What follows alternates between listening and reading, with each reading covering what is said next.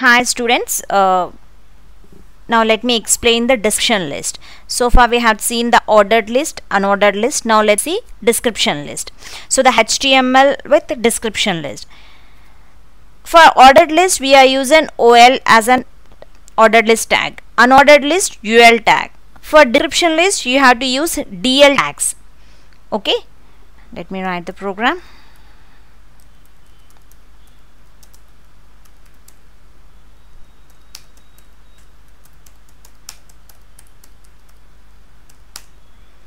Let me take h1 as a description list.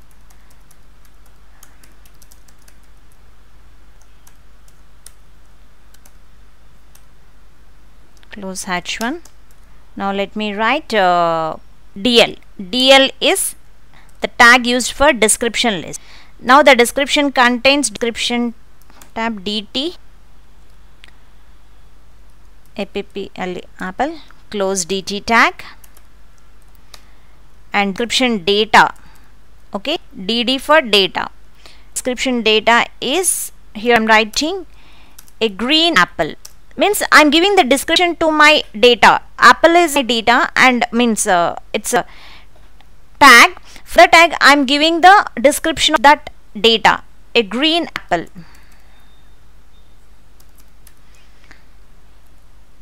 Close dd tag okay and again open uh, let write dt as mango. Close dt tag. Now the description d dd let's take a sweet mango.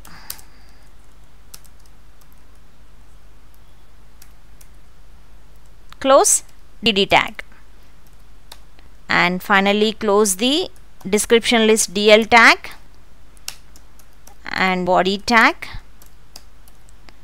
and finally HTML tag. Let's save the program. So this is description list. Description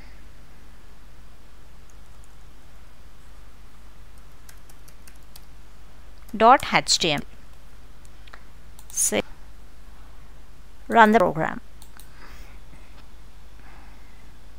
So see here the description. Apple is d and the description uh, whenever you mention dd it's uh, apple description is a green apple. And for mango description a sweet mango. If you want you can give the break tags here. Break. Save.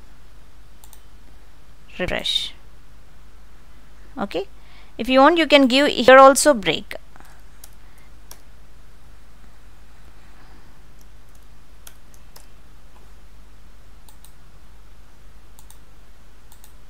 See. Apple. A green apple. Mango. A sweet mango. So the the way we are explaining all these things? Means description list ordered list and ordered list. Because the whatever the data that you want to show to the users okay that you want to represent uh, present on the browser the window that should be appeared in a clear format. It's a neat and clear format. So for that reasons we are using all these different types of list so that the data will be appeared in a good looking. Thank you